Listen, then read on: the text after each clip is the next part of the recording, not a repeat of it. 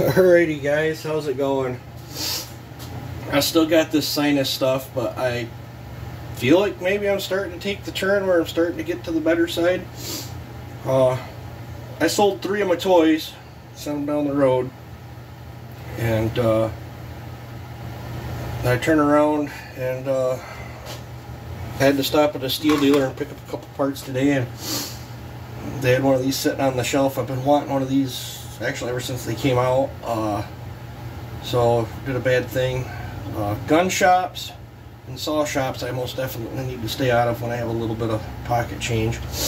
But uh, I got rid of three toys for one toy, and uh, I think the uh, you know talk. I tried to get it to where I could buy it where it could just be in the box. I wanted it in the box, not open. They wouldn't. They would not do it that way for me, and uh, I wanted it that way so I could just leave it in the box and then port it uh, when I get some some time. But uh, I guess this way I can get some pre-test cut vids with it, see how it feels. I don't want to get it too dirty because we will be tearing it down, and uh,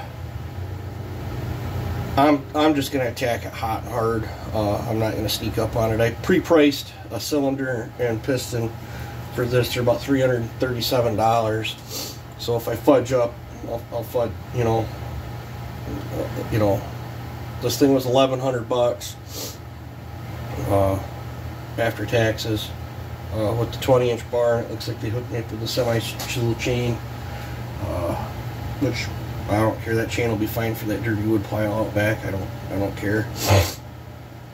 But uh, I, I'm gonna hit this one, you know, hot and hard, and we'll see what.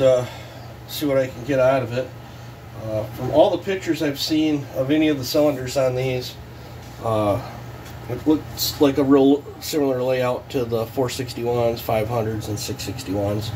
And if it is, I'm hoping when I cut the taper top piston and chamber, all that good good stuff, and uh, rework the exhaust and stuff, I'm, I'm really hoping this thing's gonna gonna come alive like that uh, 461 did and that 661 and 661 is pretty pretty nasty. The 500s are nasty. They're all pretty good saws, but uh, I still feel that, that, this was overpriced. I haven't even cut with it yet. They did pre-run it at the store, but it is what it is. Uh, but yeah, I've been wanting one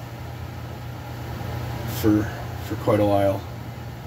So, yep they had one. I jumped on it. It. Uh, so yeah. So look forward to this in the future. Me. Uh, they thought I was nuts when I said I was going to tear it apart and mutilate it, but yeah, a lot of people think I'm nuts, but it, it's fun for me, and that's what it's about. As long as I'm having fun. I mean, if I smoke that cylinder, that's not fun, but you know. So yeah, there's the new addition to my ever-changing collection. So, you guys take it easy, have a good one, and enjoy.